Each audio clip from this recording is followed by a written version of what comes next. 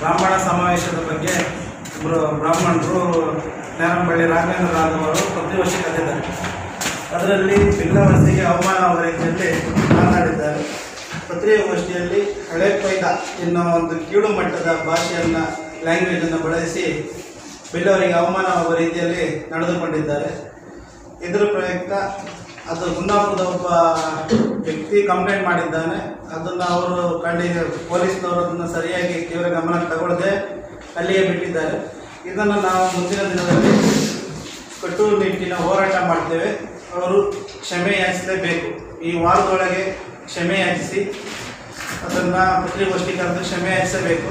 ಇಲ್ಲವಾದಲ್ಲಿ ನಾವು ಉಗ್ರ ಹೋರಾಟ ಮಾಡ್ತೇವೆ. ಪ್ರತಿಯೊಂದು ಕ್ಷೇತ್ರದಲ್ಲೂ, ಪ್ರತಿಯೊಂದು ಬಿಲ್ಲವ ಸಮಾಜದಿಂದಲೂ ಪ್ರತಿಭಟನೆ ಮಾಡ್ತೇವೆ. ಈ ಕುಂದಾಪುರದಲ್ಲಿ ಬಿಲ್ಲವ ಸಂಘ ಇದೆಯೋ ಇಲ್ಲವೋ ಅಂತ ನಮ್ಗೆ ಗೊತ್ತಾಗ್ತಾ ಇಲ್ಲ. ಅದೇ ಹೇಳ ನಾನು ಆಲ್ರೆಡಿ ಹೇಳಿದೆ ನಾನು ಅಷ್ಟೇ. ಬಿಲ್ಲವ ಸಂಘ ಯಾವುದೇ ರೀತಿಯಾದಂಥದ್ದನ್ನು ಕ್ರಮ ಕೈಗೊಳ್ತಾ ಇಲ್ಲ, ಅವ್ರು ಮುಂದೆ ಬರ್ತಾ ಇಲ್ಲ.